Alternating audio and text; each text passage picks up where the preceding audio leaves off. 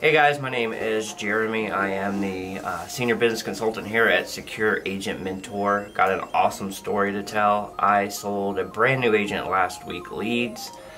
Um, was a little worried throughout the week because she wasn't really getting any business. However, she did call me yesterday. So excited. She sold four, two of which called her.